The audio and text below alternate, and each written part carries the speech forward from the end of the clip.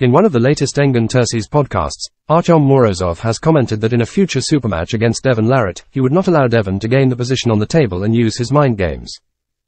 Morozov believes he would easily beat Devon and say some words for Devon when they face each other at the table. If he would pull against Devon, would he be afraid that some point if the match goes to endurance point and Devon starts talking with him and like makes him helpless. He can't move anymore. Like like how Prudnik happened, how this happened with the John, and how happened with Sandris. Would he have that kind of fear to pull against Devon that you know would cause some psychological damage?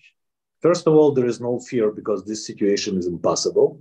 So as he so said before, possible, yeah yeah, he will win easily.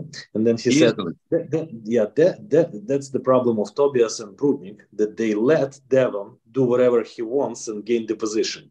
Because Devon has a psychological weapon behind his back is a screaming woman who is helping Devon to gain that position and grab, grip everything from his opponents. And he said, if that match would be happening, I would be that ready that I will be talking by the table.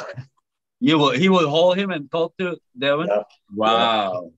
He said I will speak English. Tell me, tell me I'm the greatest.